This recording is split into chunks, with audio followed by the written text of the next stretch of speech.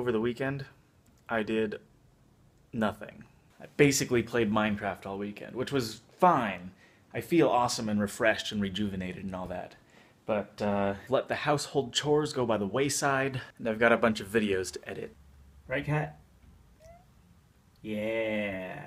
I was just taking the trash out, and I found this.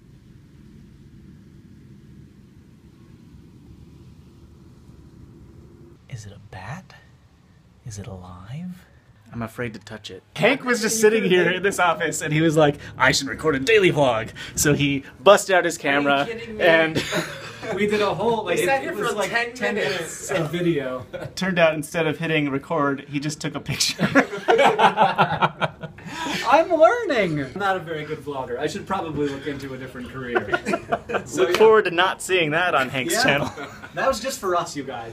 Just Just for us. We did have some laughs. I just submitted my application for the University of Montana. I'm having my transcript from film school sent over, so we'll see how much transfers. Look at that sky, kitty. Isn't that a pretty sky?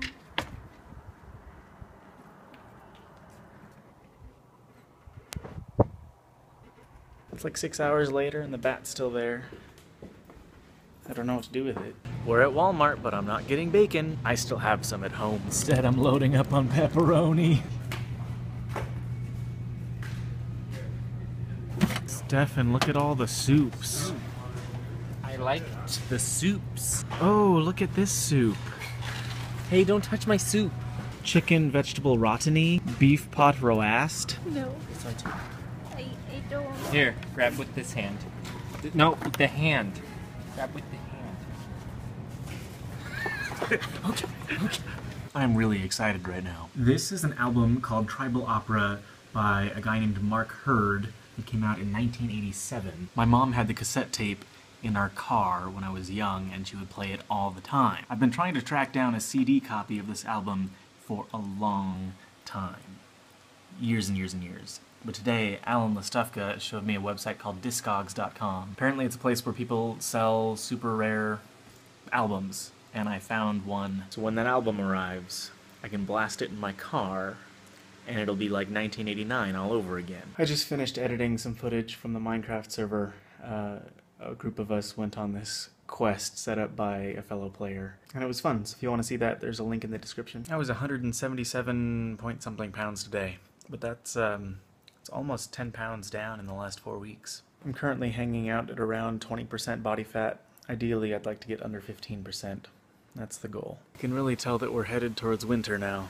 It's it's getting colder at night. Based on your input last week, I guess I'm going to go ahead and try to do five games at a time on what I'm playing right now, the gaming channel. I wrote up a little schedule, and I, I don't want to force myself to stay to this, uh, but I just generally want to aim for Mondays, Minecraft videos. Tuesdays will be my eh game. I'll explain that in a second. Wednesday, Amnesia. Thursday, Bioshock. Friday, Super Meat Boy. So I have a lot of games in my Steam library, and a good handful of them I really have no interest in playing. Some of them were gifted to me, uh, some of them I picked up for whatever reason because they were like a dollar during a Steam sale. Some of them come in bundles, like Humble Bundles, so I, I paid the money to get one of the games in the pack and I wasn't really that interested in the other 14, but even for that one it was still worth it. So to get through those games that I'm really not that interested in playing, I'm gonna pick one at a time and force myself to do it and that'll be Tuesdays. In other news, in the morning, Apple has their uh, iPhone 6 and possibly iWatch. Since I do all these videos on my iPhone, I'm really interested in anything that will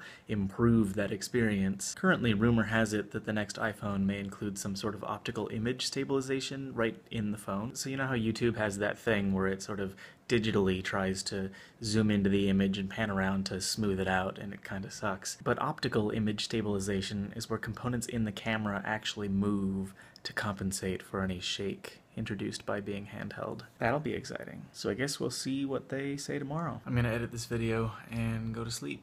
So I will see you tomorrow, possibly.